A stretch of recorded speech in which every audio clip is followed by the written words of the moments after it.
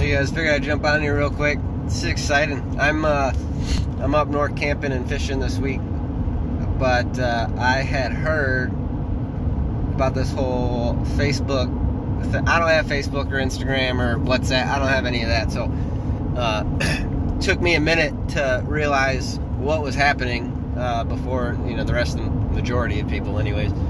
Uh, you guys, the see, I guess there was a whistleblower talked about right everything that I would assume that most people in this realm who are watching this video already know that Facebook, uh, well, all social media is uh, damaging to the psychology, especially of uh, younger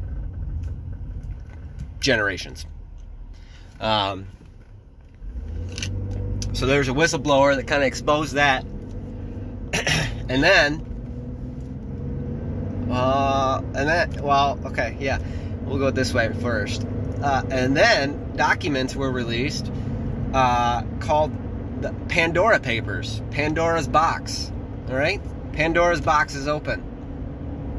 All right, what what does the Bible tell us that nothing nothing hidden shall uh, remain hidden? That everything will come to light. Right? Nothing nothing that's um, kept in the dark won't be known, won't be manifest. I'm butchering that. I think it's in Luke 8. Luke 8. I'm pretty sure it's in Luke 8 somewhere.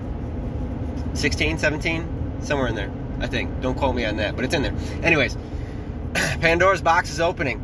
Right when, guys, this happened on the exact day. The Pandora papers were released the exact same day that the Pandora asteroid passed Mercury the Messenger.